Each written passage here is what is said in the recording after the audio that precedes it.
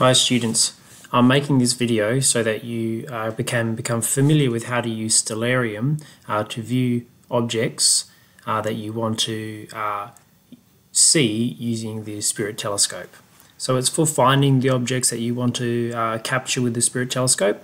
The first step that you need to do is you need to go to the left hand side of the uh, screen.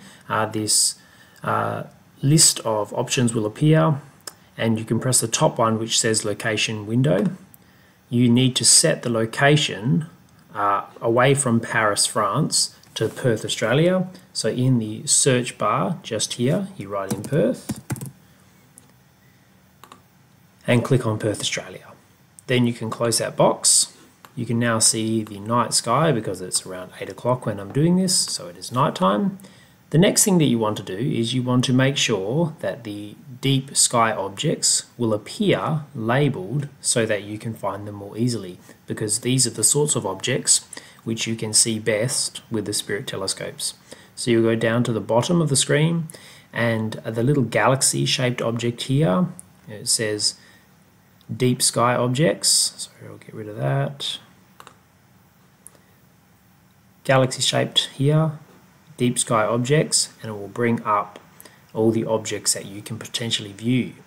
So I'm going to choose one. I'm going to choose the Rosette Nebula.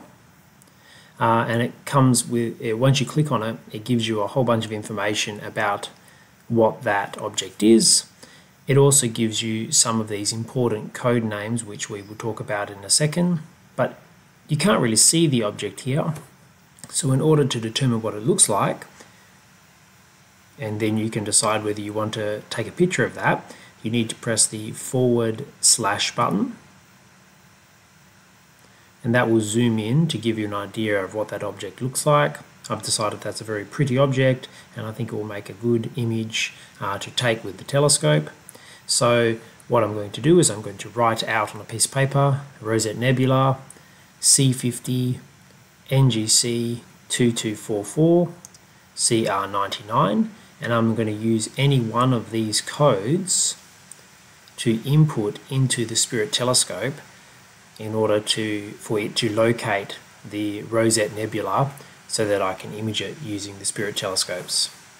If I decide that I don't want to look at that particular object in the sky, I can press the backspace button or the backslash button, sorry, and then I can choose another one. So I might go, okay, I've decided I want to look at the beehive cluster instead. Zoom into that and you can see what the beehive cluster looks like as well. That's really all you need to do in order to use Stellarium to find the appropriate numbers or code names for your objects that you'll put into the Spirit telescopes.